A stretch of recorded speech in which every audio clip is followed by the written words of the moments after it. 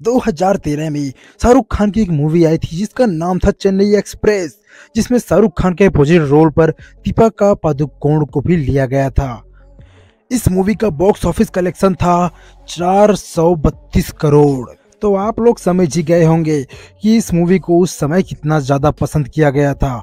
ये मूवी शायद आपने भी देखी होगी। सो so गाइज़ इस वीडियो के माध्यम से आपको मैं चेन्नई एक्सप्रेस के शूटिंग टाइम दिखाने वाला हूँ।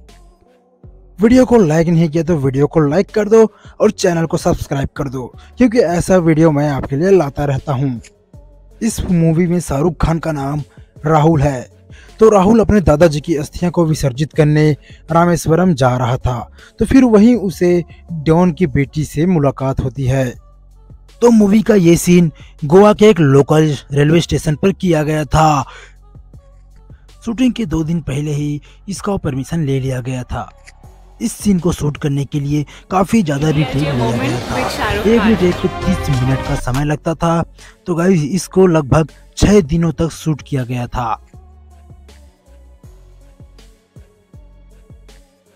तो मूवी में जो ट्रेन दिखाया गया है वह एक रियल ट्रेन के साथ शूटिंग किया गया था।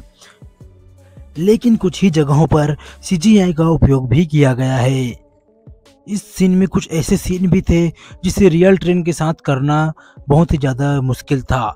इसीलिए मूवी के कुछ सीन को स्टूडियो के अंदर फिल्माया गया था। यह शूटिंग हुई थी मुंबई के स्टूडियो में।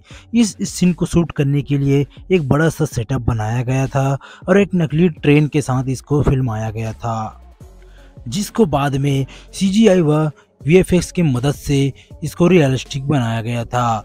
मैं आपको बता दूँ कि इसका जो VFX है वो रेड चिली के स्टूडियो से आया है। मूवी का यह वाला सीन जब राहुल और मुयम्मा चेन्नई एक्सप्रेस से आए थे तो वह वाला सीन है, जिसमें उन